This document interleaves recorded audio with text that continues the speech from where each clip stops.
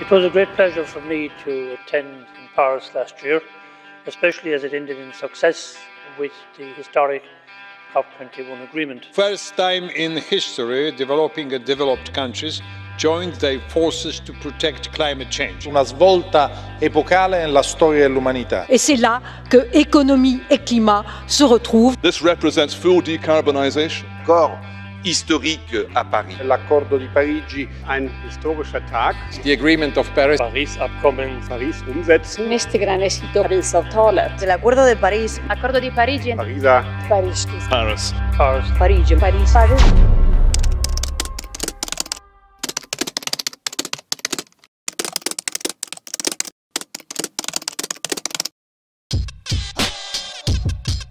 It was a hell of a result.